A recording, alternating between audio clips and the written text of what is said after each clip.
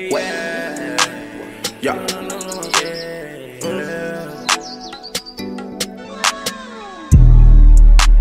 Sometimes I feel out of place. Sometimes I don't know for say. I'm trying to make me wait. Yeah. I won't turn back on my face. Even though love is on fake. I'm gonna make me wait. Yeah. You see the look on my face.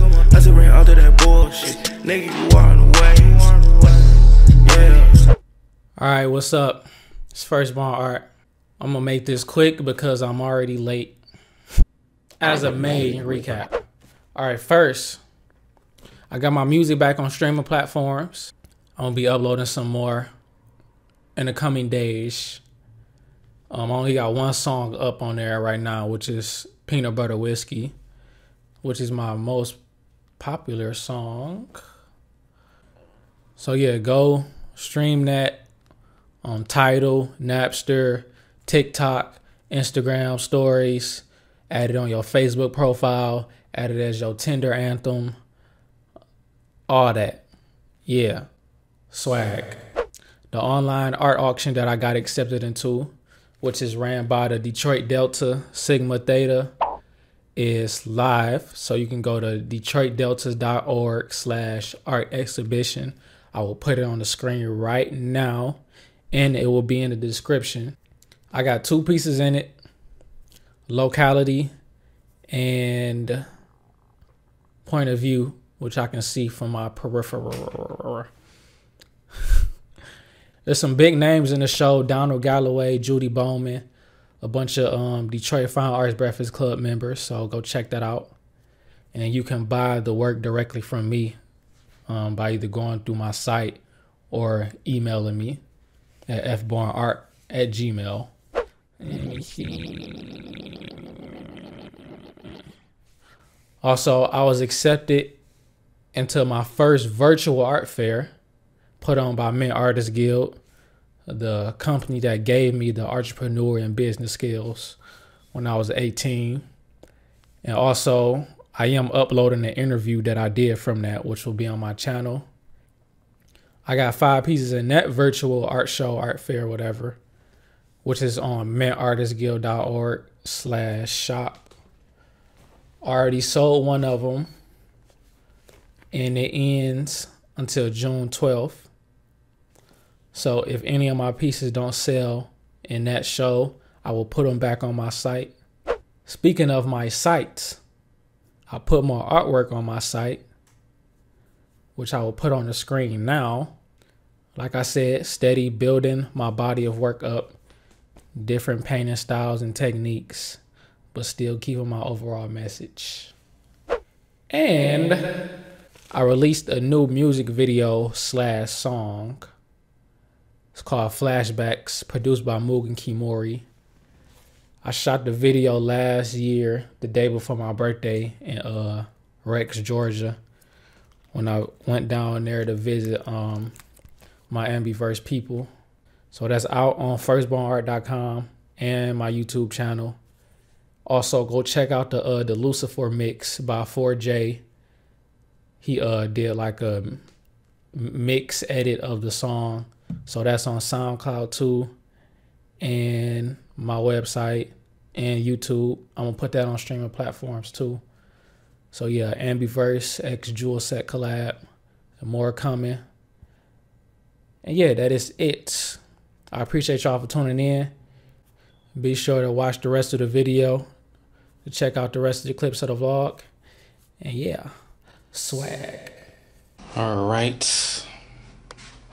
So this is a piece I'm working on right now.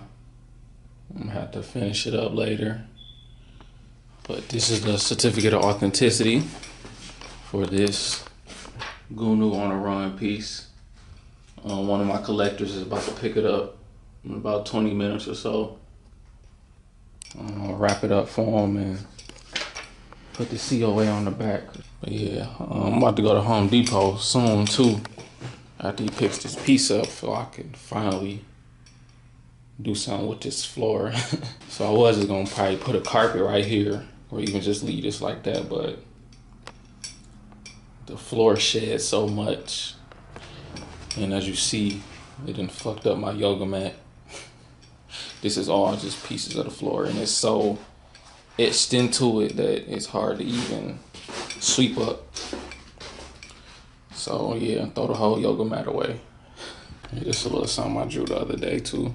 I'll be doing these little games, I guess, where if somebody guess the sample in the beat of one of my songs, I draw them. So this my producer Mugen Kimori, even though I drew him before. All right, started painting the studio floor last night. It's Mother's Day today. I gotta put that on the site. This uh, Scooby Doo boy. It's funny how I can hear the acoustics more or the reverb now that I moved the stuff out. Oh yeah, no more of that uh fucking brown chip flake shit. Yeah, this is all the stuff in the hallway.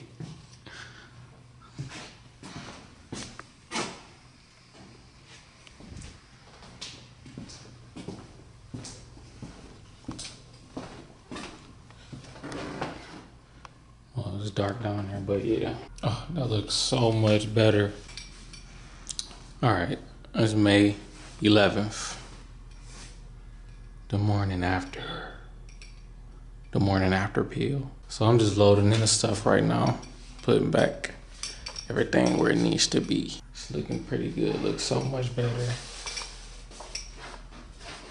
Um, since nobody's even here really since the quarantine, I just decided, yeah, let me go on and paint this floor. I was gonna add a gloss, but like I ain't like I ain't like the way the gloss like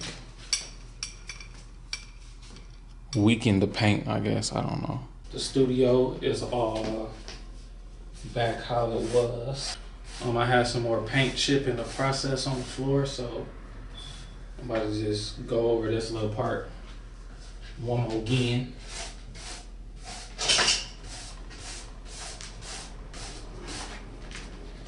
I got a little bit more floor space just because the way I organized it.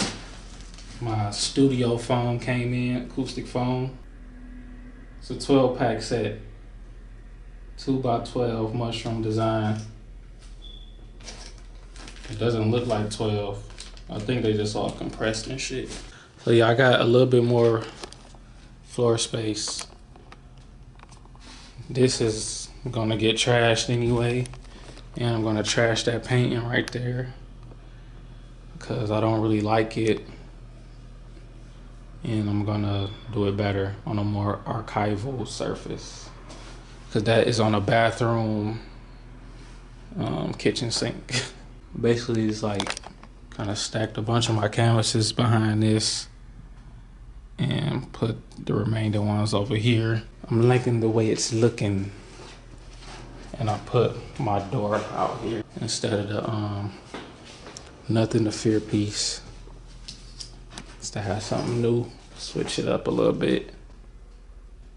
Figure like every six months or so, I'm gonna, you know, probably rearrange the studio, take stuff in, take stuff out, move stuff around not much I can do really, but you know, just to bring some new energy in. But yeah, I, I definitely like this way better. It's called earliest drawing memory because my earliest drawing memory was me painting on my wall, scribbling on it, covering up with my Scooby Doo blanket.